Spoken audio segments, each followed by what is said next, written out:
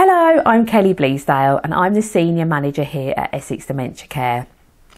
I'm doing a video today to talk to you a little bit about dementia and how it impacts people's lives. Dementia is a disease of the brain. There are over 100 different types of dementia, most, the most common one being Alzheimer's. 900,000 people in the UK are experiencing dementia, and it is thought that by 2030, this will be over 1 million people, and by um, 2050, this will be nearer 2 million people. There are over 20,000 people experiencing dementia in Essex.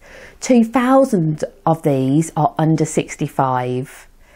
There are 800,000 people supporting people with dementia in the UK currently, and dementia is a real disease of our time. So, how does dementia impact people's lives? It impacts both the life of the person experiencing dementia and their carer.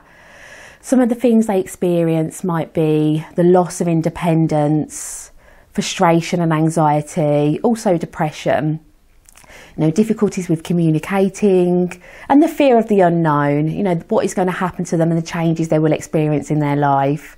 What does the future hold? It is a, dementia is a progressive disease, so we know there is no cure. It's just about making that journey a little bit special.